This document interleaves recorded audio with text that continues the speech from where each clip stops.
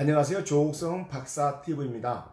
오늘 10월 21일 목요일 저녁 6시 30분은 여수와 시와 노래를 가지고 초대 손님은 최정규님입니다. 현재 열린 동해문학 작가이며 시인입니다. 시집으로는 내 삶의 햇살. 현재 여수시 중앙동 주민자치위원장이며 여수시 중앙동 섬섬여수 실천본부 부의장입니다.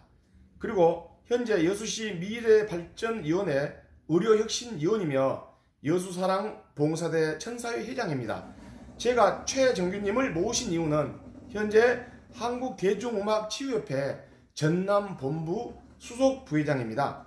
오늘은 끼와 꿈 그리고 유머와 위트를 가지고 재미와 정감과 진심을 담아 지역 사랑과 발전을 위해 애쓰시는 최정균님과 함께 하겠습니다. 조옥성 박사TV 구독, 좋아해 주십시오.